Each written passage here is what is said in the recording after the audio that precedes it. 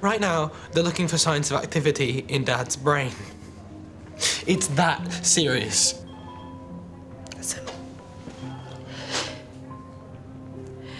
Everything James said about the abuse is true. I saw it.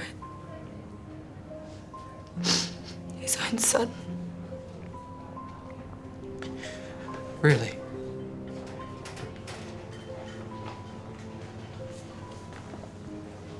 We, um, heard there was an accident.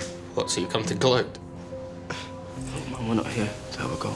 Well, then why are you here? Because you're a mate. And I can't stand the thought of you like this.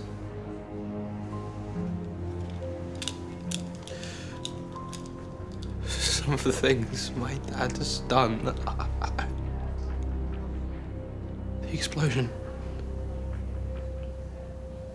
Don't think he actually did it?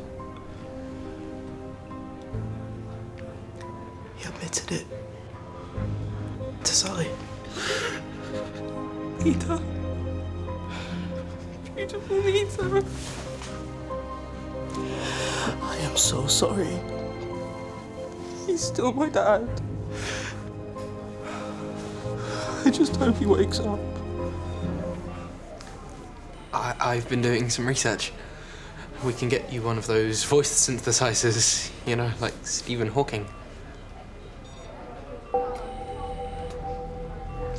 Dad, I'm having a really hard time understanding how the man that helped me through cancer, through through Jade dying, through everything that our family has been through, can also be the man who would beat up his other son. Things that they're saying you did to Nita, I. You are the only person on earth who can explain this to me. Because I, I just can't figure it out on my own. So I'm not going to give up on you.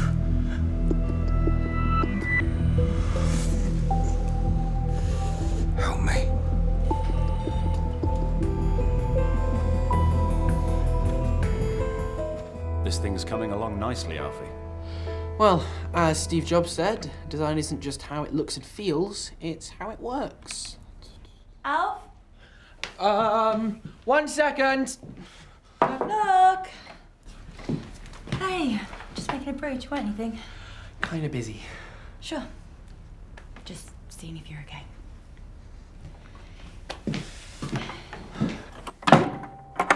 You really should lock that door. This is your room. It's private. It's cool. Ellie's fine. Don't trust your family, Alfie.